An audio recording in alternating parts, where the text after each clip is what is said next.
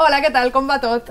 Jo estic així amb Marta Meneu, que és una jove periodista valenciana que segurament molts coneixereu perquè té un canal de YouTube, de Booktube, que parla sobre llibres, la prestatgeria de Marta, també sobre actualitat literària en València. Ella té molt de recorregut com a divulgadora literària, però la gran notícia ara és que Marta acaba de publicar en bromera la seva primera novel·la, El Senyal, que és una novel·la que comença amb un succés que unís tots els personatges i que no sabem molt bé eh, quines són les circumstàncies d'aquest succés, d'aquest esdeveniment tràgic, fins al final de la novel·la. És com una novel·la circular. Marta, com estàs? Hola, molt bé. Marta, a mi el que m'ha cridat molt l'atenció d'esta novel·la han sigut moltes coses i espero que puguem parlar-ne totes, però una d'elles és que, malgrat que hi ha molts personatges de totes les edats, és una novel·la molt coral, pense jo, la gran majoria són personatges que podrien tindre més o menys la teua edat, són de la teua generació. I com que tu eres periodista, jo he pensat, igual, Marta s'ha inspirat un poc en el seu entorn, en tot allò que l'envolta, per a inspirar-se en, en les històries i en els personatges d'esta novel·la. Sí, o sea, al final no és tot real, no? perquè al final és, és una novel·la de ficció, però sí que és veritat que, que hi ha moltes eh, històries o molts personatges que, en els quals m'he basat o en coses que m'han passat a mi mateixa o en coses que he vist al meu entorn, no? però sí que són majoritàriament coses que he pogut viure o veure. Uh -huh. La majoria de personatges també són dones, o almenys les, per les personatges sí. principals, no? Sí, sí. Eh, estan, diguem que, és una, com has dit, és una novel·la coral, no? i tenim les eh, vides de diferents dones de, que també són diferents entre elles, i després sí que apareixen eh, personatges homes i xics, però diguem que les protagonistes són elles, són uh -huh. les, les seues vides. Uh -huh. I a través d'elles volies parlar d'alguna cosa específica que ens succeeix sobretot a les dones? A mi em fa la impressió que sí, però ara em contesti.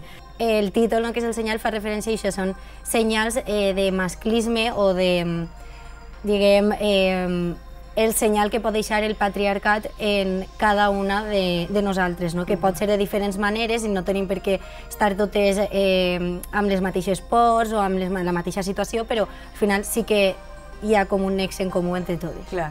Quines pors o quines situacions que ens passen típicament a les dones has volgut tu retratar en els personatges? Pues al final diguem que cada, en cadascuna s'accentua un, no? Mm. Per exemple, hi ha una xica que té por d'anar sola pel carrer caminant, que a mi això sí que m'ha passat molt. Eh, hi ha una altra xica que té problemes amb, amb la seva aparença, amb el cos i en conseqüència amb el menjar. Eh, N'hi ha una altra que, eh, diguem que les xarxes socials tenen més protagonisme sí. en la seva vida, no també per l'edat que té, i també entra en joc pues, diguem, el primer amor, la primera relació i, i com, tot i que són relacions molt noves i molt modernes i molt joves, pues, també poden reflectir no? eh, patrons que s'han donat tota la vida al final. Clar. És curiós que, encara que molts d'estos personatges, aquestes dones, tenen relació entre elles perquè són família o perquè són amigues o perquè es coneixen del barri, cap d'elles sap el que li està passant a l'altra, cap d'elles sap l'infern que està vivint l'altra, ja siga per violència masclista, ja siga per conflictes amb ella mateixa. És com que hi ha molta incomunicació, fins i tot en un barri tan xicotet on, com és el que està, sí. en el que està ambientada la novel·la.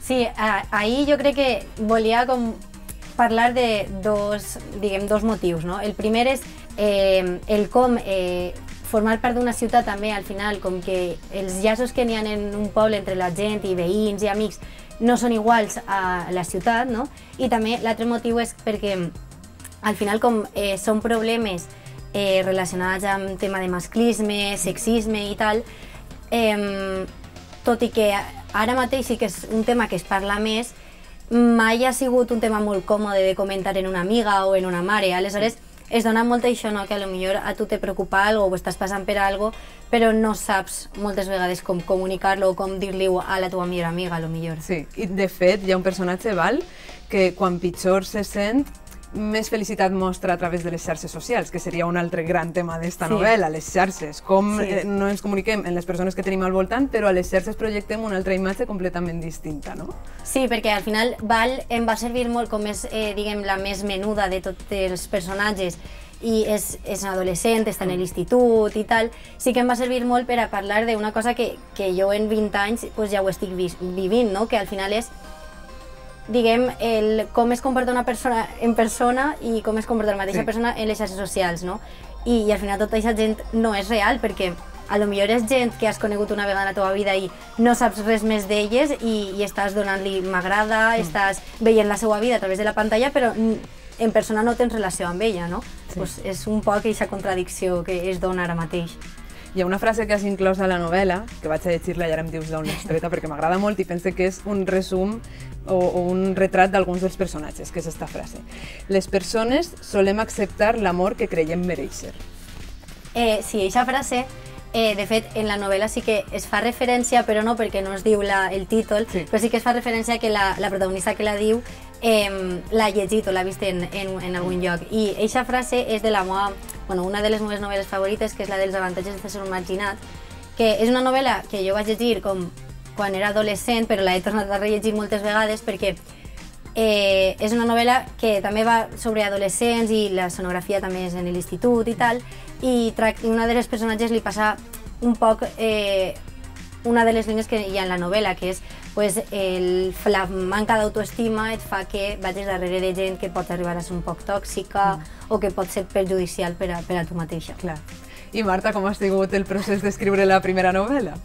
Bueno, pues ha sigut un poc com molt espaiat en el temps, no? perquè al final jo, eh, la novel·la naix d'un relat d'una de les personatges, dels personatges que, eh, pues això, eh, que un, el professor, un professor de València em va proposar un, un concurs de relats que hi havia i jo, vale, vale, tal. I qui era el personatge, per curiositat? Eh, Maria. Maria. O sea, Maria, diguem que va ser la primera que va néixer, i quan vaig acabar el relat no vaig guanyar el concurs, però m'agradava molt aquest relat perquè era com...